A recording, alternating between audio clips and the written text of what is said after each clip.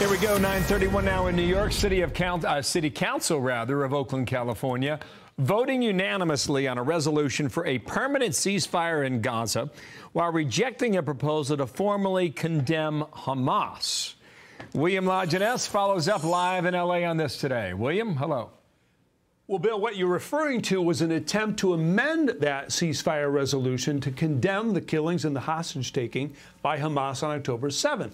But the Oakland City Council refused, voting 6 to 2 not to condemn Hamas. And what stunned one Jewish councilman is how many of the 200 individuals who spoke blamed Israel for the terrorist attack and how the crowd booed whenever speakers mentioned Hamas raping Israeli women. One speaker compared Israel to a quote wife beater who complains when the wife fights back.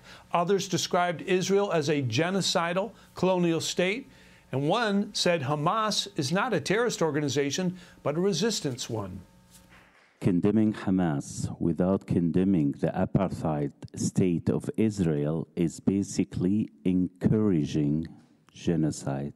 We could have easily put forth a resolution condemning the countless, countless crimes committed by the Zionist entity.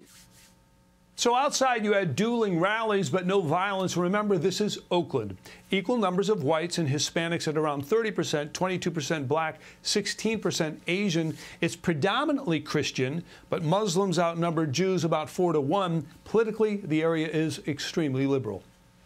If you feel the need, ah, I need to condemn something, then I suggest you start with condemning one of the most fascist, right wing extremist governments in Israel's short colonial pathetic history.